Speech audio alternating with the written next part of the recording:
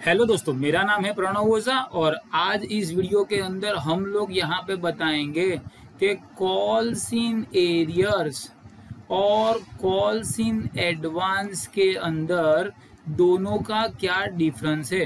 तो दोस्तों, सबसे पहले मैं आपको मीनिंग बताऊँगा। मीनिंग बताने के बाद देर आर फाइव डिफरेंसेस जिसमें से लास्ट डिफरेंस जो है कि भाई इंटरेस्ट कितना लेना क्या इंटरेस्ट लेना के नहीं लेना और अगर लेना तो कितना लेना?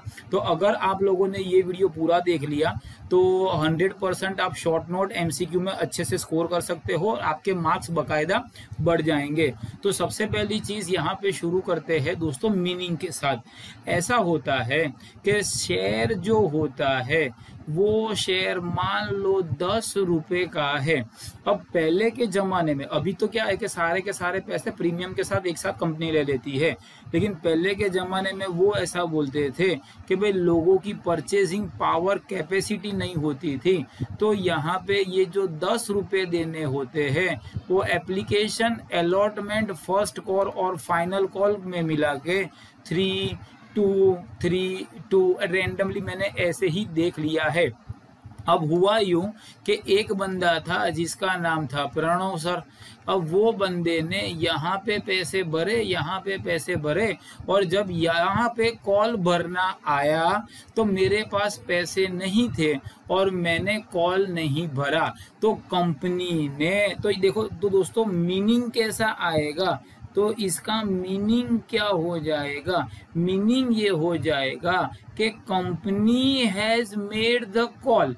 Call बकायदा हम लोगों ने कर दिया है। लेकिन यहाँ पे भैया पेमेंट जो है, वो पेमेंट रिसीव नहीं हुआ है। ऐसे सिनारियों में जो होता है उसे कॉल्स इन एरियर्स बोलते हैं। तो कंपनी को तो बाकायदा गुस्सा ही आ जाएगा हम जैसे इंसान से। और कॉल्स इन एडवांस में क्या हो जाता है कि आप लोग जैसा कोई महान इंसान था, उसने बोला कि यार यहाँ पे पैसे दिए, यहाँ पे पैसे दिए, और ये जो पैसे थे पाँच रुपए तीन इसके, दो उसके। तो ये जब मैं दो रुपए दे रहा हूँ तो साथ साथ में ये वाले पैसे जो है, वो अभी एडवांस में दे रहा हूँ। तो दो चार महीने के बाद जब यहाँ पैसा मुझे देना होगा तो मैंने तो पहले दे दिया है तो मैं नहीं दूँगा। तो इस तरह से यहाँ पे कंपनी ने कॉल नहीं किया। लेकिन फिर भी पैसा जो है, वो उन्हों को रिसीव्ड हुआ है। तो वो चीज़ जो होती है, उसे हम लोग कॉल इन एडवांस बोलते हैं। तो भैया, अब बढ़ते हैं हमारे दूसरे पॉइंट की तरफ़ और दूसरा पॉइंट ये है कि नेचर ऑफ़ यहाँ पे कैसा बैलेंस आएगा? तो ये जो कॉल्सिन एरियर्स है, ये तो भैया हमारा एक टाइप से लॉस ही हो गया है। तो इसे हम लोग डेबिट बैलेंस बोलेंगे, जबकि ये जो है, ये तो भाई लायबिलिटी हो गई है। तो इसे हम लोग क्रेडिट बैलेंस बोलते हैं। अब अब अब थोड़ा सा रिलेवेंट नहीं है, लेकिन फिर भी समझ पढ़ने के लिए यहाँ बोल रहे हैं कि ये जो है, ये तो पैसे देने वाले थे, लेकिन दिए नहीं है।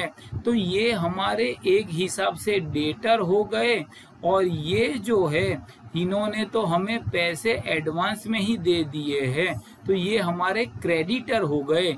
ऐसा मान लेने से कॉन्सेप्ट क्लियर होता है बट ये प्रिसाइज एक्सप्लेनेशन नहीं है। फिर कमेंट नहीं करना। और उसके बाद यहाँ पे लिखा है कि बैलेंस शीट में कहाँ पे अपियर होगा?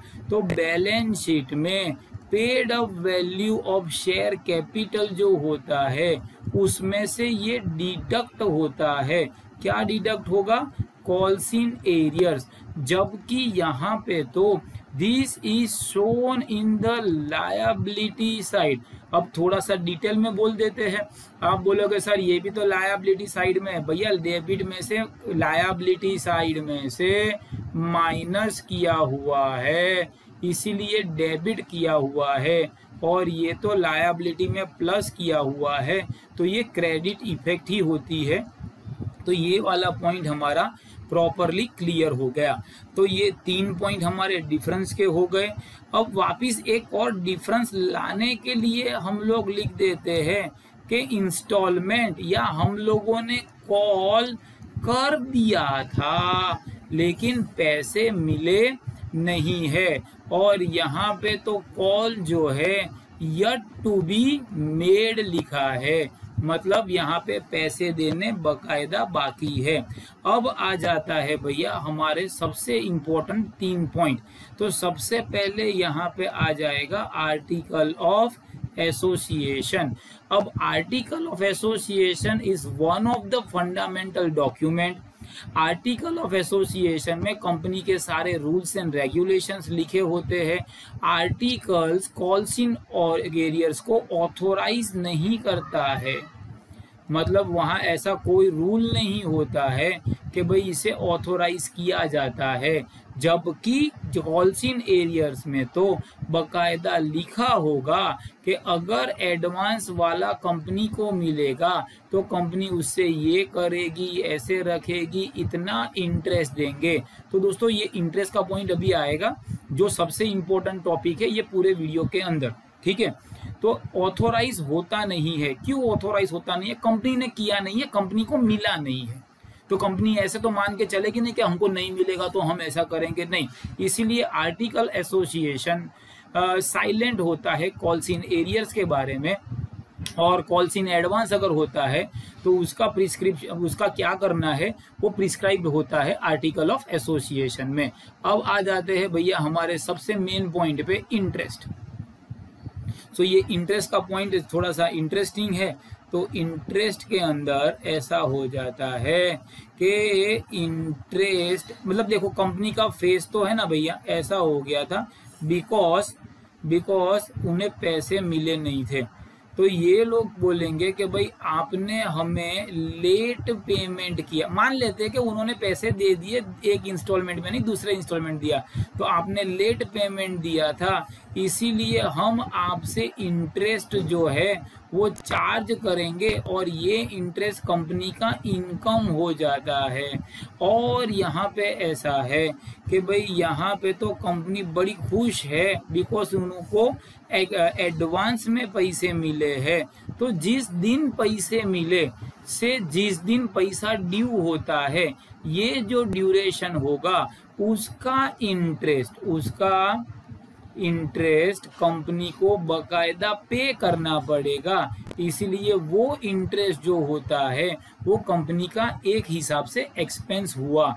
और चलते हैं। तो मैक्सिमम रेट ऑफ़ इंटरेस्ट अगर कंपनी कॉल्स इन एरियस में चार्ज कर सकती है तो वो टेन परसेंट है। और यहाँ पे जो चार्ज कर सकती है, वो ट्वेल्व परसेंट है। अब ये 1956 का जो एक्ट था, उसमें डिफरेंट था। 2013 का हुआ, उसमें डिफरेंट है। लेकिन अगर आर्टिकल ऑफ़ एसोसिएशन में रेट बोला है तो वो रेट एप्लीकेबल होगा। ये मैक्सिमम का है। आप प्लीज़ इसे एक बार चेक कर दीजिएगा। बिकॉज़ मुझे नहीं पता कि आप ये वीडियो कब देख रहे हो। तो डिपेंडिंग अपॉन द सीनारियो हो सकता है कि ये टर्म्स थोड़ा सा वेरी हो। बाकी सब तो इसमें अंदर सही है। तो दोस्तों, ये था हमारा एक छोटा सा वीडियो मैं ऐसे वीडियो रोज लेके आता रहूँगा। तो अगर आपको सही लगा तो please subscribe to our channel I wish you all the best for your exams कुछ काम हो तो बोल देना। The content I post in insta are far more different than what I post in YouTube so अगर कुछ काम है तो मुझसे इंस्टा से जुड़िए। I wish you all the best for your exam good bye God bless you and जय हिंद